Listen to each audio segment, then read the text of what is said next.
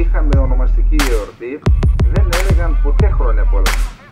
Έλεγαν να ζήσουμε το όνομα Πάω στο καλό φίλο της εκπομπής με τον οποίο αναλύουμε επί του πεδίου και όχι μόνο τα γεγονότα τον κύριο Κώστα Πικραμένο τον οποίο έχουμε και καιρό να ακούσουμε η αλήθεια είναι. Καλημέρα Καλημέρα κύριε Σαχίνη. Στον επόμενο τόνο πόσα παιδιά θα είναι νεκρά στη Γάζα; Ναι, σύμφωνα με ποιον όμως κατά τη δημόσια τηλεόραση, ε; είναι και αυτό τώρα. Έχουμε και αυτό το σύμφωνα. Ε, όταν λέει Χαμάς εννοεί το Υπουργείο Υγείας της κυβέρνησης Χαμάς. Ωραία.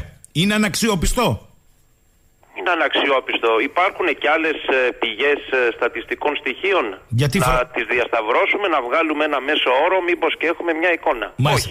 Γιατί απαγορε... Όχι να παράγει το Al Jazeera, το CNN και τα υπόλοιπα, έρχονται και στην, ε, και στην ΕΡΤ και γίνεται η μετάφραση. Καλά, μην, μην παίρνετε όρκο ότι αναπαράγουν, γιατί καταρχάς πρέπει να πω ότι υπάρχει απαγόρευση στο πεδίο να βρεθούν δημοσιογράφοι. Κατά δεύτερον, ο Γενικός Γραμματέας του ΟΗΕ, με την εν γέννη ανεκδίγητη στάση του, μιλάει για νεκροταφείο παιδιών. Και κατά τρίτον, αν είναι ότι αναπαράγουν τα ξένα μέσα να λένε τα ελληνικά, τα ελληνικά μέσα την επίσκεψη Μπλίνκεν στη Σούδα που δεν έγινε, πού τη βρήκαν; Σας είπα, είναι το copy-paste. Πώς το έλεγε ο Πολάκης, copy-paste. Λοιπόν, κύριε Πικραμένα, ένα μήνα μετά, τι μπορούμε να πούμε ότι είναι πια πιο καθαρό; Θέλω να πω κάτι και για το Σιμίτι, γιατί ξεκινήσατε και είχα και κανονίσει να πω. Θα το πω στο τέλος. Λοιπόν, πάμε στη Γάζα. Ναι, ναι. Λοιπόν, πάμε στη Γάζα, πάμε να δούμε.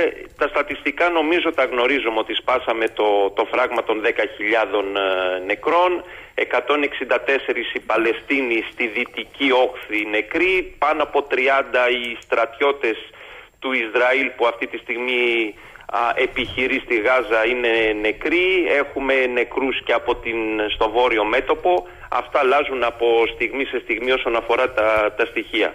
Αυτό που πρέπει να δούμε στα παρασκήνια και δεν μεταδίδεται είναι ότι επειδή εγώ ασχολούμαι με τις υπηρεσίες πληροφοριών ε, ο κακός χαμός γίνεται μέσα στην, ε, στη Μοσάντ με την έννοια ότι ο πρώην διοικητής της ε, Μοσάντ ο Κοέν είχε πάρει εξουσιοδότηση από τον Νετανιάχου να βολτάρει στον αραβικό κόλπο, βλέπε Κατάρ Εμμυράτα, μπας και ανοίξει κάποια εναλλακτική δίωδος και έχουμε μαζική απελευθέρωση ομήρων.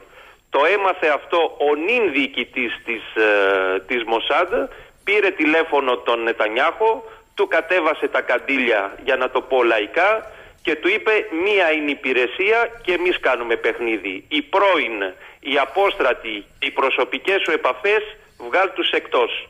Το κατάπιε ο Ερντο ο Νετανιάχου και πλέον η Μοσάντ επίσημα έχει αναλάβει την όλη διαπραγμάτευση με το Κατάρ. Για να καταλάβετε τι γίνεται και στο παρασκήνιο εντός του συστήματος εθνικής ασφάλειας του, του Ισραήλ. Από εκεί και πέρα, ε, CIA στην περιοχή, είναι λογικό.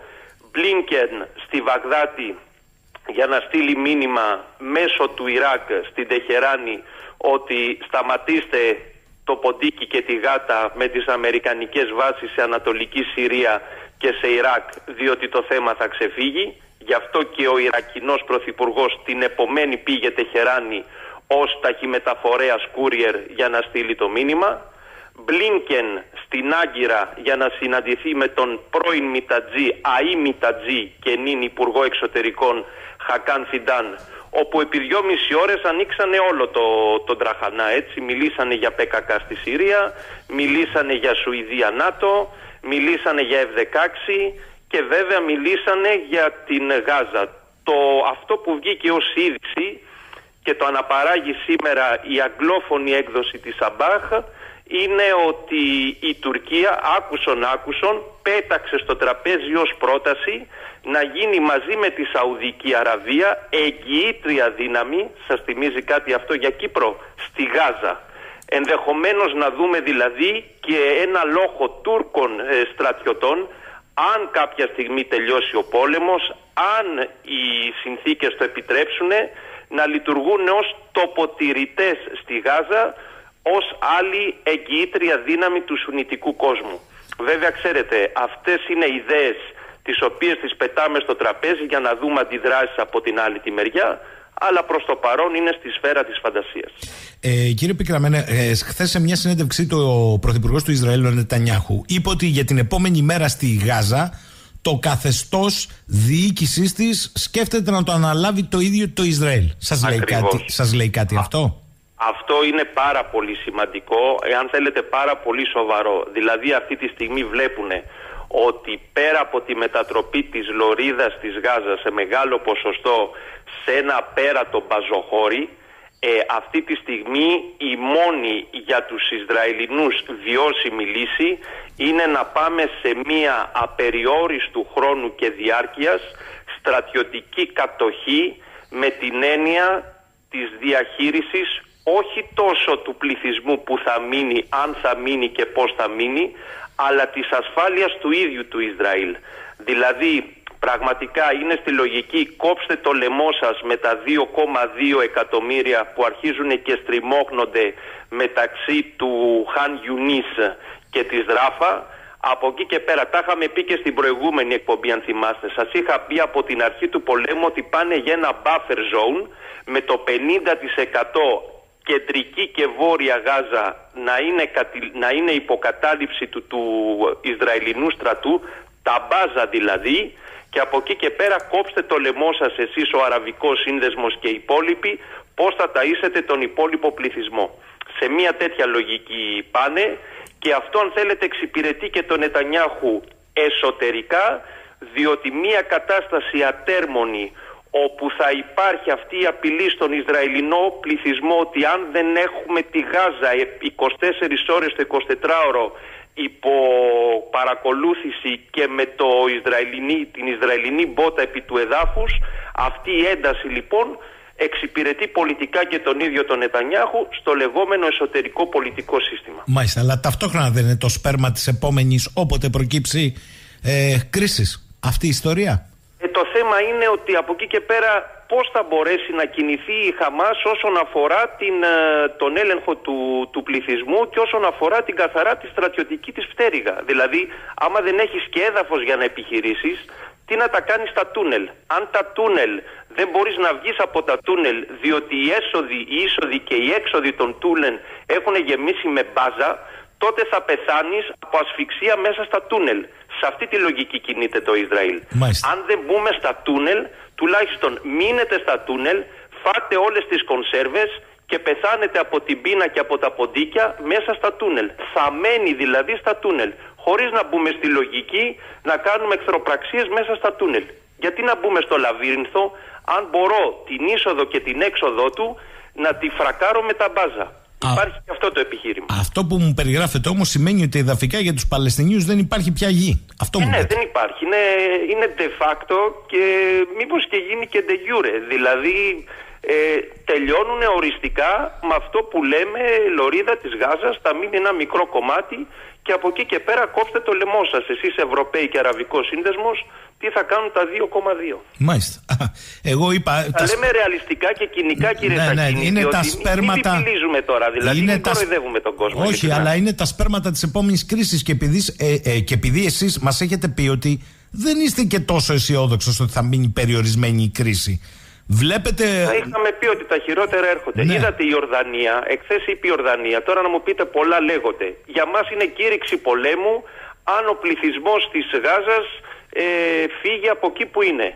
Τι θα κάνουν, πόλεμο στο Ισραήλ; Θέλω να πω, πολλά λέγονται, βλέπουμε αντιδράσεις. Ξέρετε ότι η Ορδανία πάνω από το 60% του πληθυσμού είναι Παλαιστινιακής καταγωγής.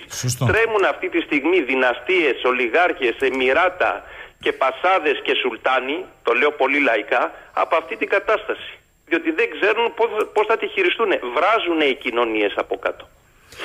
Λέει κάποιος εδώ, κύριε Πικραμένε, λέει, εσείς που τα ψάχνετε έτσι με λεπτομέρειες, μπορείτε να μου πείτε, η φωνική μηχανή αναμφισβήτητα της υπεροπλίας του Ισραήλ, πώς κινείται με καύσιμα, από πού προμηθεύετε τα καύσιμα; Μα, το Ισραήλ αγοράζει είτε μέσω Αζερβαϊτζάν με τον αγωγό που φτάνει στο Τσεϊχάν, είτε μέσω βόρειου Ιράκ με τον άλλο αγωγό, η οικογένεια Μπαρζάνη δηλαδή, ο οποίος φτάνει και ο ίδιος στο Τσεϊχάν.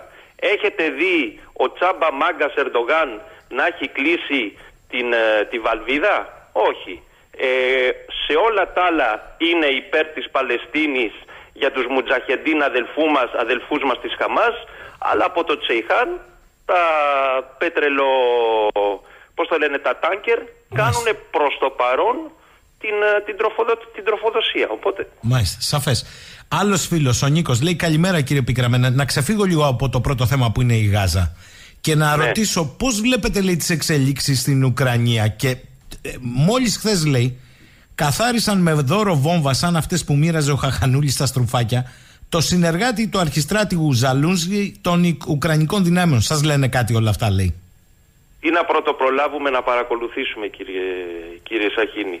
Δώστε μου χρόνο και μέρες να ασχοληθώ. Δεν έχω ασχοληθεί αυτό το διάστημα με την Ουκρανία και ξέρετε, δεν θέλω να το παίζω ξερόλας. Σας μιλάω για Γάζα γιατί το παρακολουθώ και επαγγελματικά. ωραία. Το κρατούμε αυτό. Έτσι να το κρατήσουμε, ναι. Πάμε στο άλλο κεφάλαιο για το οποίο σήμερα θέλουμε να σχολιάσετε, γιατί επίσης έχετε ασχοληθεί επισταμένος. Είναι η ιστορία των υποκλοπών. Μιλάμε από πότε, μιλάμε από τον Ιούλιο νομίζω του 22 για αυτή την Μάλιστα. Έτσι. Λοιπόν, σε αυτή την υπόθεση, επειδή ο κόσμος την παρακολουθεί και πλέον νομίζω ότι και αυτοί που την παρακολουθούσαν περιστασιακά έχουν καταλάβει τώρα ποια είναι τα, τα κομμάτια του, του παζλ. Αυτό το οποίο ουσιαστικά, αν θέλετε, ποιοτικά αναβαθμίζει πάρα πολύ την υπόθεση είναι η απόπειρα παρακολούθησης, να ξεκαθαρίσουμε κάτι, ότι τα 92 τηλεφωνικά ε, νούμερα από ό,τι λένε αντιστοιχούν σε 88 φυσικά πρόσωπα. Δεν θα παίξουμε με τους αριθμούς. Ας πούμε ότι είναι 92. Δεν σημαίνει ότι και οι 92 που έχουν λάβει το πρεταντόρ κλικάρανε. Άρα μιλάμε για 92 απόπειρες. Κάποιοι από αυτούς κλικάραμε, ενδεχομένως οι περισσότεροι. Από τους 92 όμως, μόνο τρεις έχουν υποβάλει μήνυση. Είναι η Άρτεμι Σίφορτ, είναι ο Θανάσης ο Κουκάκης και είναι και ο συνάδελφός σας ο Σιδέρης από το ειδήσεις. Οι υπόλοιποι δεν έχουν νομικά κινηθεί. Ένα το κρατούμενο. Δεύτερον, πρέπει να δούμε στη συγκεκριμένη περίπτωση τι έχει γίνει με τα δύο μηνύματα που πήγανε. Το ένα στη Βασιλική Βλάχου πρώην εισαγγελέα της ΕΙΠ και το άλλο στον πρώην επικεφαλής της Οικονομικής Εισαγγελίας. Κύριο Μπαρδάκη, το λέω σωστά; Ναι, ναι.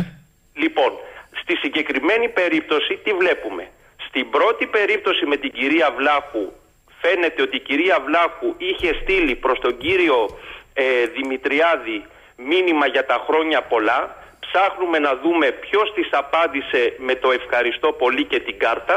Αυτό και μπορεί στη δεύτερη περίπτωση με το SMS αφορούσε εμβολιασμό του επικεφαλής της οικονομικής εισαγγελίας. Αυτό Για να μπορέσει λοιπόν Κύριε Πικραμένε, με ακούτε, μισό λεπτό. μηνύματος Κύριε να σου έρθει η ανταπάντηση, παγίδα, σημαίνει ότι ο άνθρωπος αυτός ήταν υπονόμιμη παρακολούθηση μέσω του συστήματος της ΕΙΠ. Δεν υπάρχει άλλος τρόπος. Μάλιστα. Ε, μισό λεπτό. μισό λεπτό. Ε, ναι. να, να πούμε κάτι.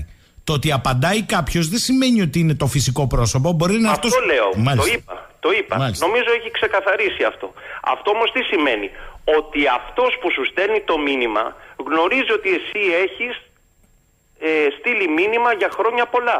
Άρα πώς το γνωρίζει; Ήταν η κυρία Βλάχου υποπαρακολούθηση από την ΕΕΠ την ημέρα που έστελνε το μήνυμα, ε, το ευχητήριο μήνυμα. Δηλαδή η ίδια θα τρελαθούμε τώρα τελείως έτσι. Η ίδια είχε υπογράψει να, να παρακολουθεί τον εαυτό της. Άρα αν δεν είχε υπογράψει η ίδια να παρακολουθεί τον εαυτό της, ο άλλος τρόπος ποιος είναι να γνωρίζεις ότι ε, κάποιος έχει στείλει μήνυμα σε κάποιον; Νομίζω ο κόσμος αρχίζει να καταλαβαίνει και να υποψιάζεται τι γίνεται. Αυτό λοιπόν που μας οδηγεί; Μας οδηγεί στο γεγονός ότι εδώ ε, έχουμε ανθρώπους που είναι ακόμη εισαγγελείς, βρίσκονται δηλαδή σε νευραλγικές θέσεις. Η κυρία Βλάχου νομίζω είναι στην, στο εφετείο του, του Πειραιά. Ο κύριος Μπαρδάκης έχει αναβαθμιστεί, έχει πάει στον Άριο Πάγο. Δηλαδή έχουμε ανθρώπους οι οποίοι είτε κλικάρανε είτε δεν κλικάρανε. Ε, αυτή τη στιγμή ε, δεν κινούνται νομικά οι ίδιοι εισαγγελείς. Φανταστείτε τι σημαίνει αυτό για το κύρος της ίδιας της δικαιοσύνης ως θεσμού. Πάμε λοιπόν τώρα στο διατάφτα ποια κακουργήματα προκύπτουν από όλο αυτό το φάκελο. Δεν είμαι ποινικολόγος, αλλά από την εμπειρία μου βλέπω. Πρώτον, Μιλάω για κακουργήματα τα οποία έχουν 20 χρόνια παραγραφή, όχι για τα πλημελήματα.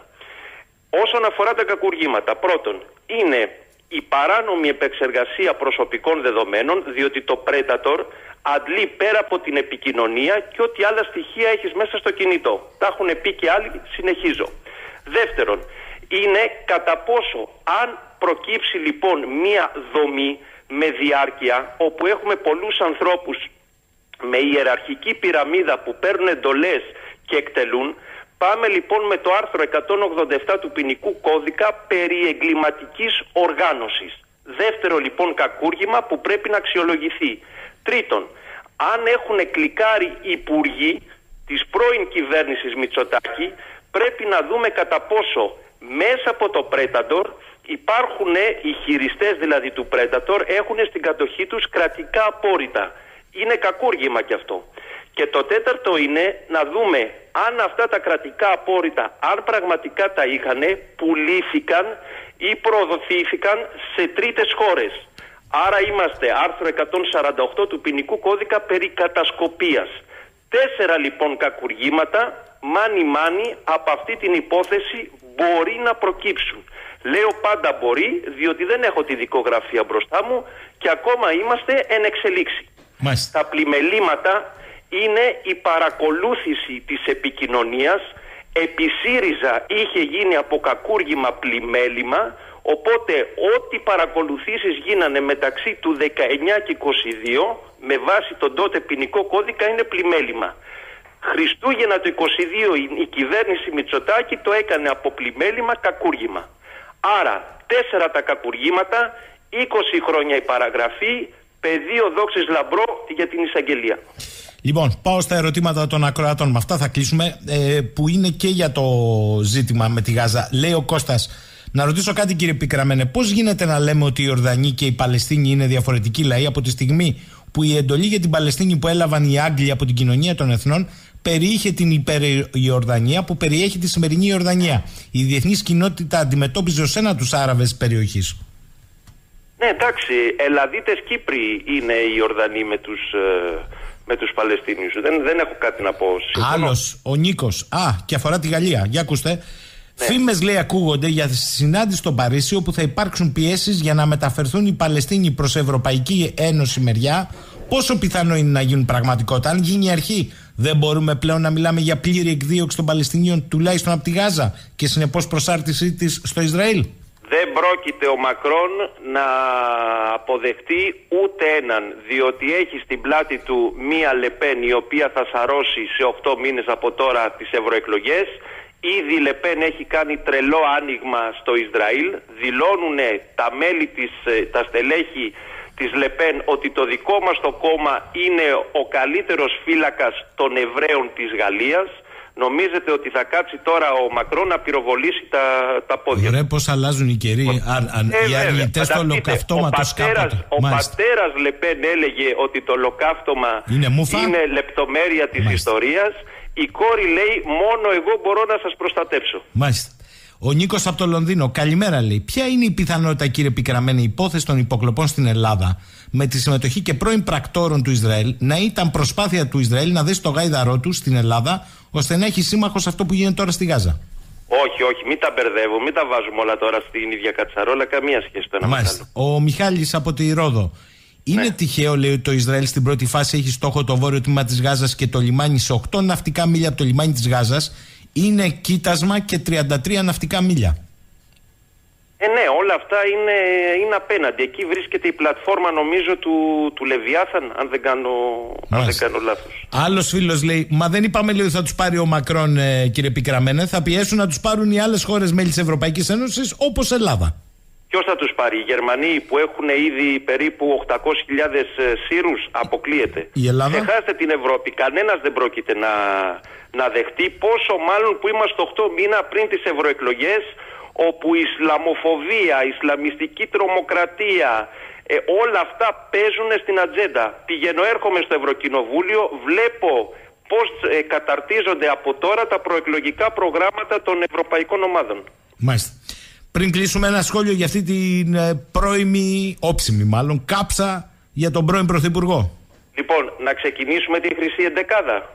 Ξεκινάμε. Ήμια 1, Μαδρίτη 2, Οτσαλάν 3, Φούσκα χρηματιστηρίου 4, Πάρτι Ολυμπιακών Αγώνων 5.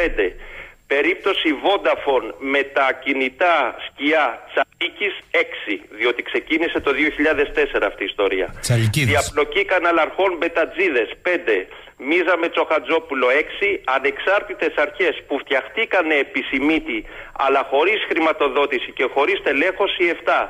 Τα ζεϊμπέκικα του ΓΑΠ με τις διερευνητικές ξεκίν- ξεκινήσαν επισημίτη, έχουμε φτάσει στις 60, δεν βλέπουμε φως.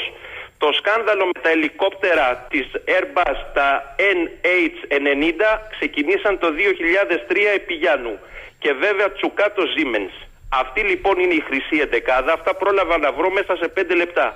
Αλλά για να μην τα ισοπεδώνουμε όλα, στο Σιμίτι πιστώνεται η είσοδος του ευρώ, όσοι συμφωνούν, όσοι διαφωνούν, η είσοδος της Κύπρου στην Ευρωπαϊκή Ένωση και από εκεί και πέρα υποδομές όπως το αεροδρόμιο Βενιζέλος, η Εγνατία, η Αττική Οδός, το Ρίο Αντίριο, η Γέφυρα, το Μετρό και κάποιοι βιολογικοί καθαρισμοί θέλουμε δεν θέλουμε έγιναν επισημήτη. Οπότε ο καθένας ας διαλέξει τι θέλει από το καλάθι. Και τα ρέπος μου γράφουν εδώ πέρα με τα οποία κρύφτηκε το χρέος για να μπούμε στην ΟΝΕ. Ε, αυτός σας λέω. Ο καθένας διαλέγει. Δεν μπορούμε να πούμε ότι ο Σιμίτης είναι όλα τα κακά της μοίρας μου. Γίνανε και έργα στην Ελλάδα, αλλά είδαμε ότι υπήρχε και τρελή διαπλοκή. Μάλιστα. Οπότε περιμένουμε ποιος θα γράψει τη βιογραφία του Σιμίτη, όχι την αυτοβιογραφία. Έτσι. Λέει κάποιος φίλος κλείνοντας, πόσα σκάνδαλα είδατε τα τελευταία 10 χρόνια και ποιος μπήκε φυλακή και ποια δικαιοσύνη αποδόθηκε, κύριε Πικραμένα. Ξέρετε ότι σήμερα στη Γαλλία, στη Γαλλία έτσι, δικάζεται ως απλός ιδιώτης ο Υπουργός Δικαιοσύνης. Ναι, αλλά δεν τον παρέτησε από Υπουργό Δικαιοσύνης ο κύριος Μακρόν. Όχι. Δεν τον έβαλε σε αργία έστω, καραντίνα. Ναι, οκ, αλλά δικάζεται ο Υπουργός Δικαιοσύνης. Φαντάζεστε κάτι τέτοιο στην Ελλάδα; Δεν υπάρχει καν στη, θε- στην, στη σφαίρα του, της θεωρίας. Λοιπόν, στη Γαλλία ισχύει. Όχι ότι η Γαλλία είναι top δημοκρατία, έτσι, αλλά τουλάχιστον βλέπουμε τον Υπουργό Δικαιοσύνης να δικάζεται και να απολογείται σε δικαστές. Κάτι είναι και αυτό. Κώστας Στην Πικραμένος. Ελλάδα έχουμε τον νόμο περί ευθύνης Υπουργών. υπουργών του κυρίου Βενιζέλου. Κώστας Πικραμένος. Καλημέρα κύριε Πικραμένα, να είστε καλά. Καλημέρα και σε εσάς.